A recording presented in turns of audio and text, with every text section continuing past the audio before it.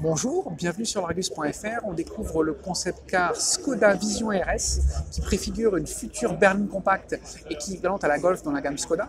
Donc là pour l'instant il s'agit d'un concept car. Ce concept car est animé par un moteur essence de 150 chevaux assisté par un moteur électrique, donc c'est un modèle hybride. Au total, on a une puissance cumulée de 245 chevaux, donc c'est l'équivalent de ce qu'il y a actuellement dans la Skoda Octavia RS. À la différence, c'est que ce concept car, il peut rouler pendant 70 km en 100% électrique. Ça, c'est vachement bien euh, pour euh, l'écologie. On a des lignes très marquées, donc on remarque ici une calandre qui est basse, des projecteurs en trapèze qui peuvent rappeler aussi la Skoda Superbe. C'est très ouvragé, c'est très nervuré.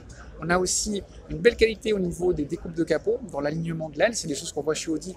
Donc c'est pour vous dire le niveau d'exigence qu'il y a maintenant chez Skoda. Alors pour imaginer la version de série, il faudra avoir des, portes avec des poignées non infleurantes, mais on n'est pas loin. À l'arrière, on a un traité horizontal, on a également une vitre qui descend en bas, qui peut rappeler une Volvo C30, mais surtout qui rappelle la Rapid Spaceback, parce que cette Skoda, en fait, elle préfigure un modèle équivalent à la Rapid Spaceback avec plus de haut de gamme. On a également en partie basse la signature des modèles RS, ce bandeau lumineux. On va aller voir à bord. Alors on remarque que c'est un véhicule à 4 places, avec beaucoup de carbone, des sièges baquets. Évidemment, la version de série, elle, nous proposera une banquette à l'arrière. À l'intérieur, on a un très grand écran tactile, comme ce qu'on avait vu sur le concept car Vision X à Genève. Donc ça, c'est quelque chose qu'on verra sur tous les modèles Skoda.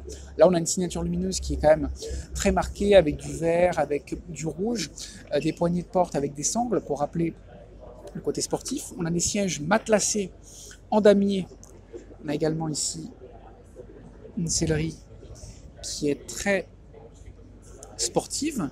On a du chrome, de l'aluminium travaillé, un bouton sport avec un mode sport sur le volant. Je vous montre les places arrière très rapidement, comme ceci, avec un grand toit vitré. On a même de quoi se tenir à l'arrière parce que les accélérations promettent d'être assez époustouflantes. Et donc, rappelez-vous de cette face arrière en fait, qui va rappeler la Rapid Spaceback qui devrait arriver normalement au mois de mars sur le marché français. Nous, on vous remercie de votre fidélité. On vous donne rendez-vous très bientôt sur largus.fr.